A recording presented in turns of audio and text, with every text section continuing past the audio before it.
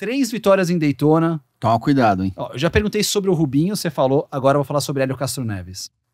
Três vitórias em Daytona, nas 24 horas. Quatro Indy 500 podendo ir para quinta esse ano, já é o recorde. As quatro, a quinta ele pode ser o dono daquela coisa toda. Onde se encaixa o Hélio Castro Neves na nossa história? Uh, Tava muito tranquilo o programa. né? tava. E você, aliás, pode mandar um comentário também. Onde você coloca o Elinho nessa história toda. Quanto ele pensa, vai colocando aqui, tá nos nossos comentários. Aí você me colocou contra a parede, mas. ahn, Mas Tá achando que a vida é só subir lá, dar tchauzinho, fazer storyzinho, ficar ali. ou se não ficar assinando É, pelas pistas, pelas lá, na, larga- lá no chão, é. né? Então. Ficar dando punição pros caras. Isso, é, então. não. A vida é um pouco mais complexa que Exato. isso, né? Ele. Eu acho que eh, antes da gente entrar nesse detalhe, o, o que me chamou a atenção, eh, a história dele depois de 17, 18 anos, você pode me ajudar? Foram quantos? 17 anos eh, com a Penske? Ah, foram 17 ou 18? por aí. Foi por aí, mas o- Quase 20 anos, vai. quase 20 anos. É. Ele, ele foi o recordista na Penske. Ele, Uhum. ele foi o piloto que mais anos defendeu as cores da Penske. Isso que a gente tá considerando o Rick Mears, Al Todo, não, não, não. Todo, todo mundo, mundo. na história da É. Penske, tá? Chegou uma hora que a, da- da- a história da, da- a- a- aquele romance, por um motivo ou outro, não vamos apontar dedo Uhum. pra ninguém, Elinho, Penske, Roger, en- enfim, acabou. Como tudo na vida, tudo na vida tem um começo, meio e fim. E aquela história acabou. E daí ele partiu para outra história. Ele, ele teve que, de uma certa maneira, até se, se reestruturar de novo. E vamos parar para pensar. Da hora que ele saiu da Penske, foi, que foi exatamente quatro anos atrás, e ele entrou numa história diferente, ele ganhou uma Indianápolis e ganhou três Daytonas seguidas. E um título. O título do INSA também. Ah, não, o título foi na Não. saída da Penske. Foi a saideira da Penske, o título do O, INSA. o- o título da IMSA foi É, na saideira da isso. Penske, exatamente. Então, tanto que até me surpreendeu que, que ele, ele, ele, ele não entrou. Só uma observação, são 21 anos de Penske. Vi- então, 21 então não foram Penske. É, 17, foram 21 18. anos de Penske. Eu fiquei surpreso como o Roger não continuou com ele para correr pra- e passou ele full time para o programa de protótipo. Uhum. Ah, agora da Porsche. Eu, eu- ok, a Acura correu eh, durante três, três ou quatro anos, sei lá, com, com, eh, com a Porsche. Daí a hora que Com a Penske.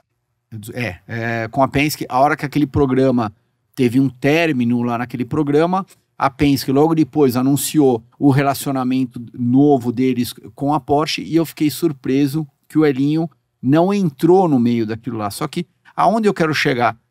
Ele saiu da Penske, ele ganhou uma Indy 500, ele terminou, que- o que ele terminou? Sexto ou sétimo? É, o ano no top 10, passado? é. Então, ele terminou sexto com um carro, diga, eu que- quero deixar bem claro, um carro podre. O carro dele não andava absolutamente nada na corrida e quem terminou em sexto ou sétimo foi ele. Foi a experiência dele em Indianápolis. Não, não é a troco de nada que ele ganhou quatro vezes aquela corrida. Quando ele está andando sozinho, quando ele está classificando, por exemplo, você vê uma linha diferente em Indianápolis dele em relação aos outros pilotos.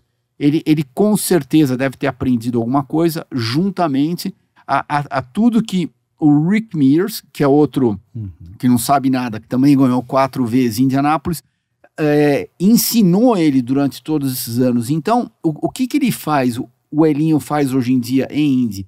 Ele, ele, ele capitaliza, ele conseguiu canalizar tudo aquilo que ele aprendeu junto com a experiência dele e ele capitaliza ao máximo.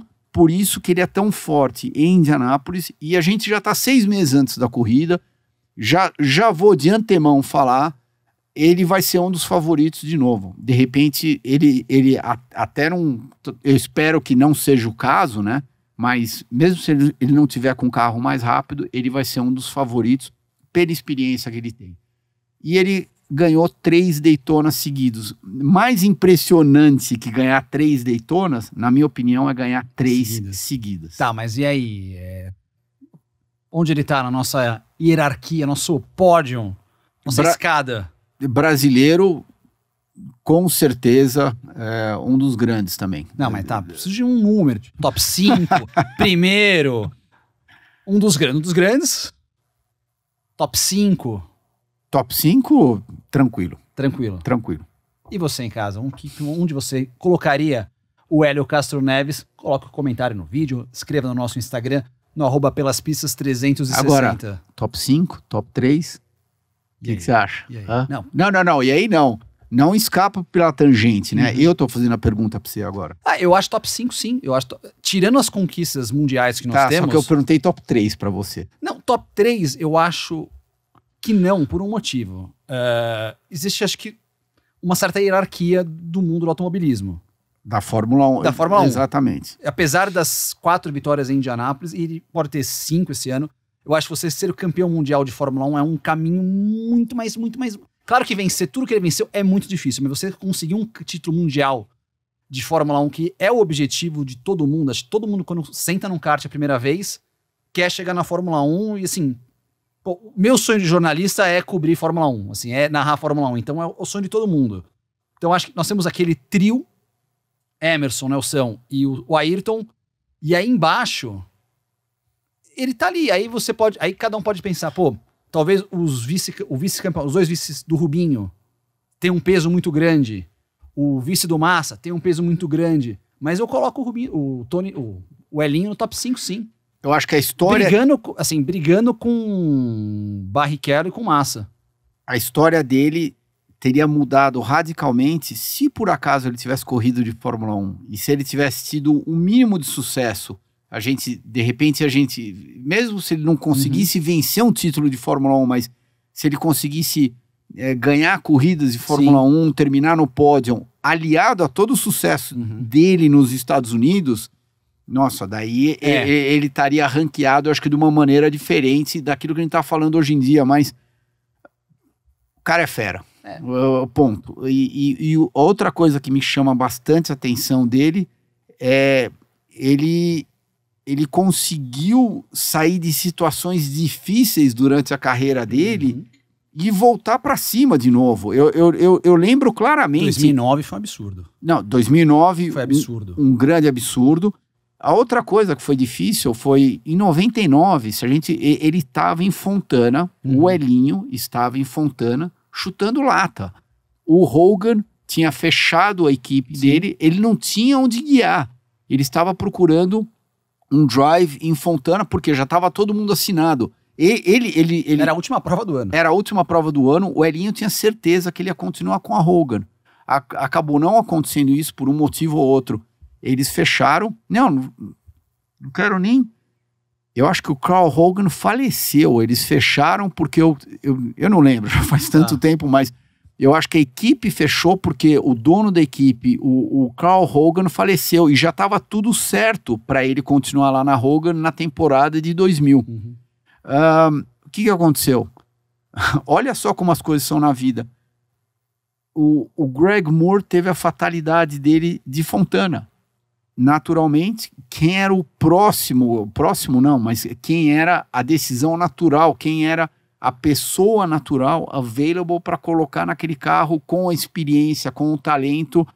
O Elinho já tinha corrido o quê? Dois, três anos de Indy, Uhum. se eu não me engano, dois, du- duas temporadas é, de Indy. Então, o, o- a, a situação do Roger ter imediatamente corrido atrás dele, eu acho que foi mais que óbvia. Qualquer pessoa faria isso, porque ele tinha velocidade e tinha experiência. Ele, E ele- era um jovem. E, o, e- e era um jovem, o Roger exatamente. faz essa aposta também. Então ele, ele, ele entrou no lugar do Greg Moore e daí o resto virou história. Olha só quanto que ele ganhou É. depois disso daí.